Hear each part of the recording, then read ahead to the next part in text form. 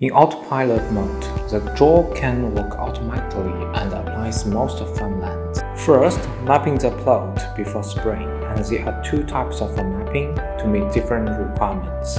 Field block map the boundary of the plot for the whole large field, and then plan the spraying route within the plot.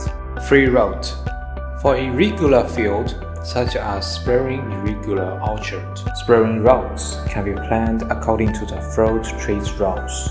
Both types are mapped in the same way, and there are three plot mapping methods. Map, Locator, Draw. Map. First power on the aircraft, turn on the remote control, open the app, click Mapping, and select Field Block or Free Route. Click on the seats and select Map.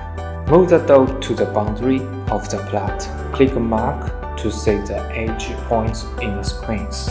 If set the wrong dot, click Undo to remove. After the plot is circled, click Upload and fill in the block name and the other information, then confirm it. Back home page to click Autopilot. Select the name plot and click the arrow to plan the spraying route. The safety distance of each route can be adjusted by plus or minus. Click one of the flat corner on the map to set the starting point. Click the edge to adjust the road direction.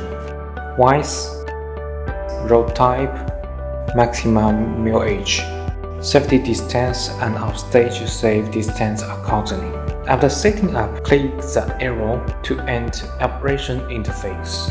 Click Params to set height, speed, and quantity.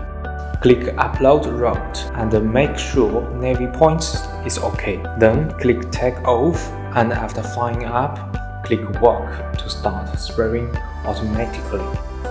Locator. Open the app, click Setting, Controller, RTK Service, and ensure the drone has RTK service. Back home page, click Mapping and select Field Block or free route. Click on the settings and select locator.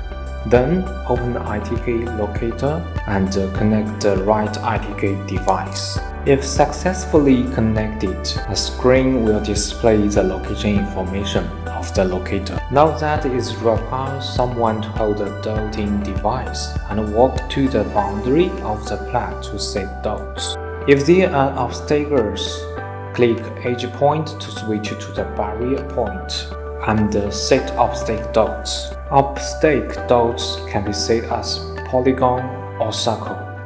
And click the ruler icon to adjust the margins. Then down upstake to save it.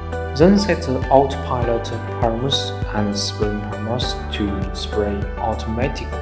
Draw. Select the draw type of set dots. Then fly the aircraft to boundary of the plot to add the dots and map the plot. Then autopilot parameters and spraying parameters can be set and start spraying automatically. Follow us for more practical tutorials and updates.